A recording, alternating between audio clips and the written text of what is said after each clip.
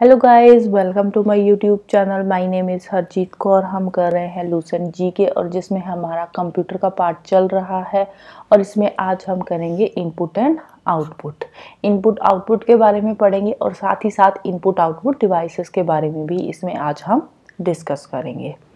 Computer को जब हमने कोई इन्फॉर्मेशन सप्लाई करनी होती है तो वो इन्फॉर्मेशन हम सप्लाई करते हैं फ़िज़िकल चैनल्स के थ्रू तो बेसिकली जो इन्फॉर्मेशन हम सप्लाई करते हैं यूज़र जो कंप्यूटर को इन्फॉर्मेशन देता है यूज़र कौन है? यूज़र है हम.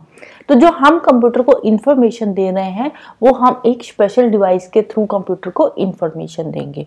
और वो वाले जो डिवाइसेस होते हैं, उन डिवाइसेस को बोलते हैं इनपुट डिवाइसेस। जिन डिवाइसेस के थ्रू हम कंप्यूटर में इंफॉर्मेशन एंटर करते हैं, कंप्यूटर को इंफॉर्मेशन सप्लाई करते हैं, उन डिवाइसेस को बोलते हैं input devices basically input devices के थ्रू हम कंप्यूटर में अपना डाटा इनपुट कर रहे हैं डाटा एंटर कर रहे हैं। जैसे कि कीबोर्ड हो गया माउस हो गया। तो कीबोर्ड माउस के थ्रू हम कंप्यूटर में डाटा एंटर करते हैं।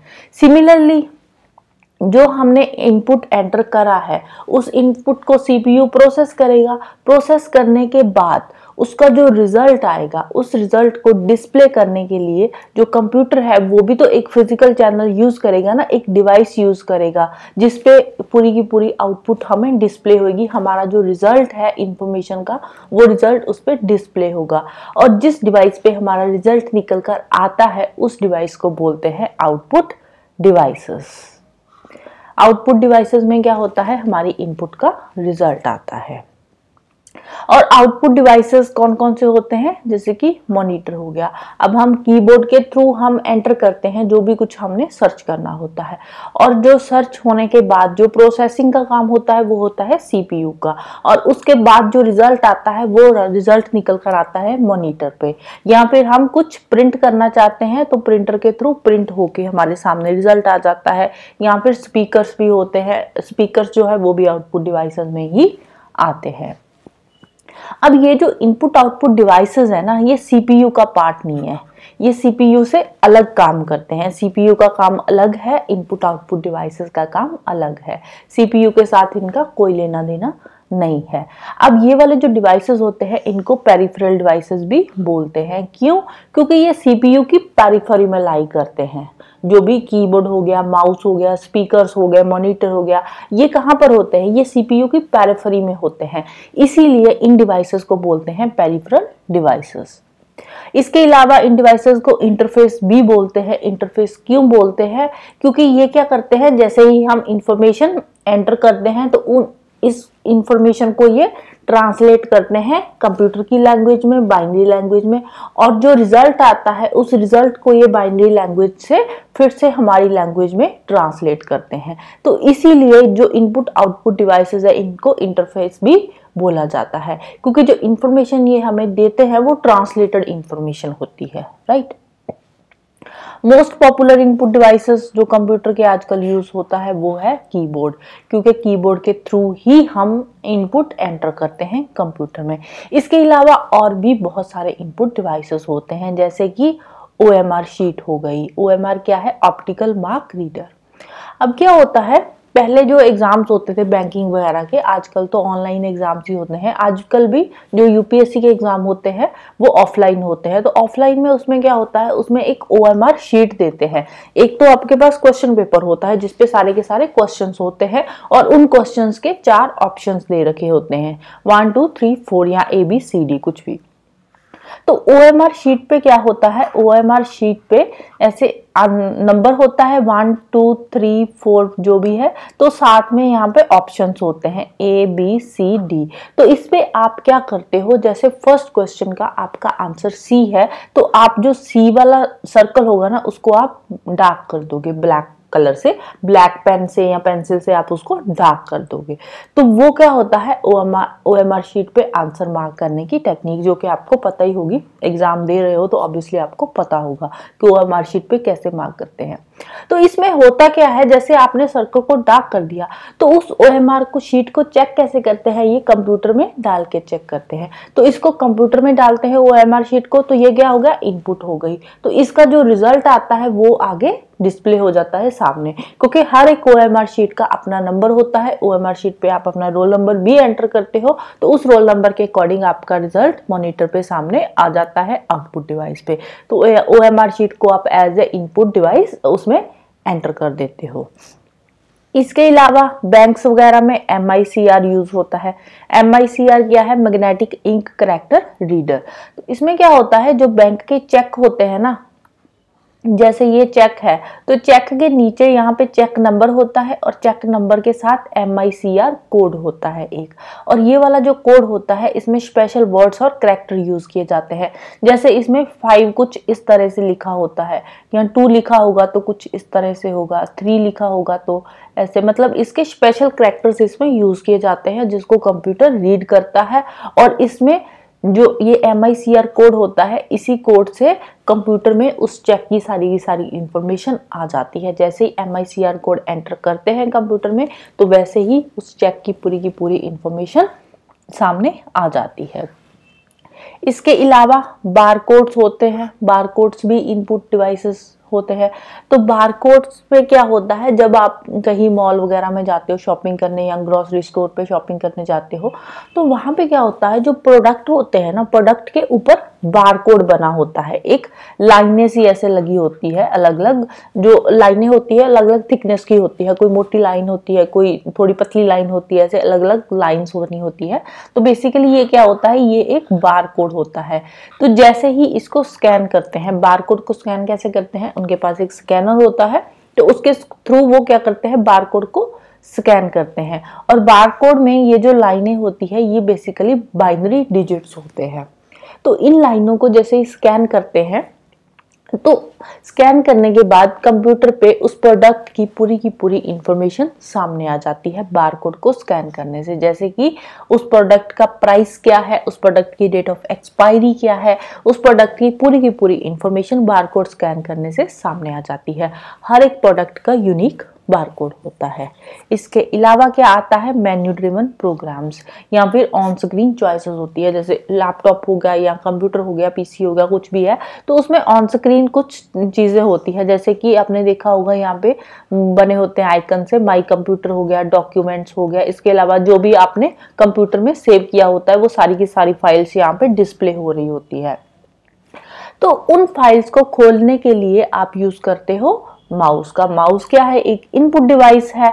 तो माउस के थ्रू आप एक ये जो फाइल्स है, इसको आप खोल सकते हो। किसी भी फ़ाइल को खोलना है, माउस के थ्रू पॉइंटर वहाँ पे ले जाके उस पर क्लिक करके आप उस फ़ाइल को खोल सकते हो। माउस क्या है? माउस बेसिकली एक पॉइंटिंग डिवाइस है। तो माउस को आप मूव करते हो तो वैसे ही जो पॉइंटिंग डिवाइस है, यहाँ पे मूव होता रहेगा और जो भी फ़ाइल आपने खोलनी है, वो खोल सकते हो। माउस की जो स्पीड होती है, जो मोशन होता है, वो अलग अलग होता है। वो कंप्यूटर की सेटिंग में जाके आप उसकी स्पीड जो है, उसको कम ज़्यादा भी कर सकते हो। इसके अलावा माउस का एक कर्सर होता है, जो स्क्रीन पे एक एरो सा दिखाई दे रहा होता है तो वो क्या होता है? माउस का कर्सर होता है, जिसके थ्रू आप फ़ाइल को ओपन कर सकते हो। तो इसके अलावा माउस पे कुछ बटन होते हैं, लेफ़्ट क्लिक राइट क्लिक तो वो सारी चीज़ें माउस पे होती है। तो इसमें कुछ ज़्यादा अलग नहीं है। तो आपने देखा ही है माउस तो उसमें वो सारी चीज़ें होती है। और माउस के अलावा एक आता है डिजिटल कैमरा। डिजिटल कैमरा भी इनपुट डिवाइस है। डिजिटल कैमरा में क्या होता है? डिजिटल कैमरा जो होता है वो लाइट सेंसिटिव होता है। इसके थ्रू भी इनपुट कंप्यूटर में एंटर होती है। और इसके अलावा आता है एक वीडियो प्रिंटर। तो वीडियो में क्या होता है? वीडियो, ये वीडियो प्रिंटर क्या है? ये आउटपुट डिवाइसेस है। यहाँ तक सारे के सारे इनपुट डिवाइसेस थे। अब शुरू हो रहे हैं आपके आउटपुट डिवाइसेस। तो इसमें सबसे पहले आता है वीडियो विजुअल डिस्प्ले यूनिट। ये कुछ नहीं होता, ये मॉनिटर होता है, जो कंप्यूटर का मॉनिटर होता है, जिसपे हमें रिज़ल्ट हमारा शो होता है। तो जो कंप्यूटर की वो स्क्रीन होती है ना, वो अलग अलग तरह की होती है, जैसे एल सी डी एल तो ये अलग अलग तरह की इसके इसके ही जो मोनीटर है, उसी के ही अलग अलग आगे नाम है। तो जो विजुअल डिस्प्ले यूनिट है, इसमें कैथोड रे ट्यूब यूज़ होती है इंफॉर्मेशन को डिस्प्ले करने के लिए। तो इसमें भी क्या होते हैं? पिक्सल्स होते हैं डॉट्स का पैटर्न होता है। तो जिसके थ्रू जो ये आगे जो पिक्चर है, जो हमारा आउटपुट रिज़ल्ट है उसको डिस्प्ले करता है। पिक्सल्स तो अपने कैमरे में भी सुना होगा। जैसे फ़ोन के कैमरे होते हैं एंड्रॉयड फ़ोन के तो उसमें होता है कि जो कैमरा है, वो 32 मेगापिक्सल है 16 मेगापिक्सल है 64 मेगापिक्सल है, ऐसे अलग अलग पिक्सल्स के कैमरे होते हैं। तो जितने पिक्सल्स ज़्यादा होंगे उतनी जो पिक्चर है वो ज़्यादा क्लियर आएगी। क्योंकि पिक्सल्स क्या होते हैं? पिक्सल्स डॉट डॉट ही होते हैं। डॉट डॉट से पूरी की पूरी पिक्चर बनती है। जितने पिक्सल्स ज़्यादा होंगे उतनी पिक्चर ज़्यादा क्लियर होएगी। जितने पिक्सल्स कम होंगे उतनी जो पिक्चर है थोड़ी ब्लर आएगी। राइट और इसके बाद आ जाता है प्रिंटर प्रिंटर में क्या होता है? प्रिंटर में जो भी हमारा इनपुट होती है, जो हमने कंप्यूटर में इनपुट ऐड करी, उसका जो आउटपुट रिज़ल्ट मॉनिटर पे हमें डिस्प्ले हो रहा है तो वो आउटपुट जो रिज़ल्ट है पूरे का पूरा प्रिंटर के थ्रू एक पेपर पे प्रिंट हो जाता है सिमिलर मीडियम में। जैसे कि ये वाली जो स्क्रीन है, इसको हम अगर प्रिंट करेंगे तो ये पूरे के पूरे करेक्टर पेज पे वो प्रिंट हो जाएँगे एज अ इज़ तो प्रिंटर भी तीन तरह के होते हैं एक होता है डॉट मैट्रिक्स प्रिंटर, एक होता है इंकजेट प्रिंटर एक होता है laser printer dot matrix printer में क्या होता है? डॉट मैट्रिक्स प्रिंटर में टाइनी डॉट्स होते हैं। डॉट्स के थ्रू जो भी चीज़ होती है, वो प्रिंट होती है। जो करेक्टर्स आते हैं तो उसमें क्या है? डॉट डॉट के थ्रू वो करेक्टर्स आगे शो होते हैं हमें पेज पे। इंकजेट प्रिंटर में क्या होता है? इंकजेट प्रिंटर में जो प्रिंटर होता है, वो इंक को स्प्रे करता है। बेसिकली जो हमारे करेक्टर्स शो हो रहे हैं, जो पिक्चर शो हो रही है प्रिंट होने के बाद पेपर पे तो वो इंक की स्प्रे होने के बाद प्रिंट होती है। और इसमें इंक जेट प्रिंटर में जो प्रिंट आता है, वो ज़्यादा स्मूथ होता है as compare to dot matrix printer फिर थर्ड आता है लेज़र प्रिंटर लेज़र प्रिंटर में लेज़र बीम के थ्रू जो हमारा पेपर पे करेक्टर्स है, वो प्रिंट होकर आते हैं। इसके अलावा कंप्यूटर में हम जो भी इंस्ट्रक्शंस कंप्यूटर को हम देते हैं, उसको जो इंस्ट्रक्शंस आगे प्रोसेस होती है, वो एक डिटेल सीक्वेंस में इंस्ट्रक्शन कंप्यूटर को आगे इशू होती है। सीपीयू को जो इंस्ट्रक्शंस मिलती है, वो एक सीक्वेंस में होती है इंस्ट्रक्शंस तो वो जो सीक्वेंस होता है ना इंस्ट्रक्शंस का, उस सीक्वेंस को बोलते हैं प्रोग्राम ठीक है? जो प्रोग्राम होता है प्रोग्राम रैम में भी होता है और सेकेंडरी मेमोरी में भी होता है। कुछ प्रोग्राम्स होते हैं जो कंप्यूटर में की सेकेंडरी मेमोरी में पहले से ही स्टोर किए होते हैं और कुछ प्रोग्राम्स होते हैं जो रैम में स्टोर होते हैं। और जो सेकेंडरी मेमोरी में स्टोर प्रोग्राम्स होते हैं, उनको प्रोसेस करने के लिए क्या होता है? सेकेंडरी मेमोरी से पहले वो ट्रांसफ़र होते हैं रैम में और उसके बाद फिर वो प्रोग्राम्स आगे प्रोसेस होते हैं। इसके अलावा जो सीपीयू होता है सीपीयू में जो सीपीयू जो इंफॉर्मेशन को प्रोसेस करता है सीपीयू भी उस इंफॉर्मेशन को प्रोग्राम्स के थ्रू ही प्रोसेस करता है। एक प्रोग्राम्स का सीक्वेंस होता है, जिसके थ्रू सीपीयू इंफॉर्मेशन को प्रोसेस करता है। और जो कंप्यूटर के ये प्रोग्राम्स होते हैं, वो एक स्पेशल लैंग्वेज के थ्रू राइट किए जाते हैं। जो प्रोग्राम्स कंप्यूटर में ऐड किए जाते हैं सेकेंडरी मेमोरी में तो उसकी एक स्पेशल लैंग्वेज होती है, जिसको बोलते हैं प्रोग्रामिंग लैंग्वेजेस प्रोग्रामिंग लैंग्वेजेस अलग अलग तरह की होती है, जिसके बारे में अभी हम देखेंगे। और ये जो लैंग्वेज यूज़ करी जाती है ना प्रोग्रामिंग के लिए, हर एक लैंग्वेज की अपनी एक ग्रामर होती है।